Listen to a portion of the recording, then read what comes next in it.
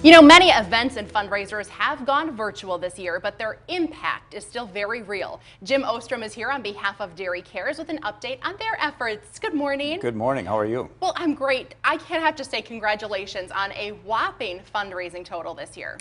We had a overwhelming success, and our event is 10 years old. This was our 10th anniversary, and to be very frank, I, we all thought it was a bust with COVID, economic crisis going on, social unrest, and dairy farming stress. And, uh, and then we decided to proceed in a whole new way. And the new way was an online version, which is something unusual to us. And we started seeing a lot of traction. And a lot of folks that are traditional sponsors stood up and said, we're sponsors, um, but also a lot of folks that, uh, you know, can give small, and they did and uh, we raised $210,000 on an online event. And uh, over our history, we raised $1.5 million in 10 years. Wow.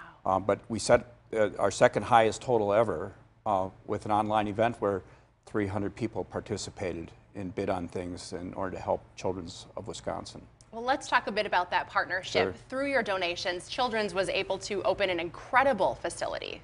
Yeah, they have actually. Dairy Cares was started by uh, a small group of us 11 years ago. Uh, we had a garden party uh, at my house, and I, I, tend to be a landscape gardener, and we have a nice environment. We thought I'd have a garden party. Well, after that event, just a, a group of friends, we decided to do it for a great cause. Okay.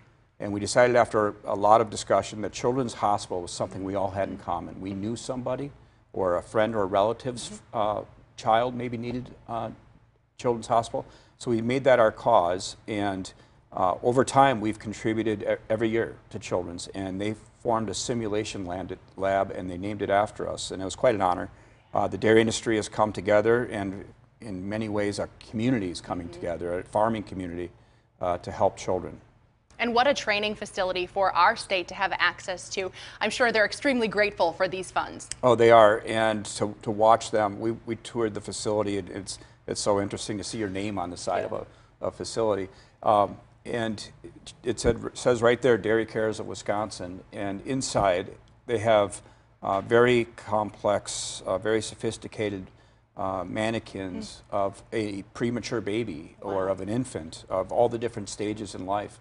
Uh, so that the doctors and the nurses can train and be prepared for when there's a true trauma coming in the door.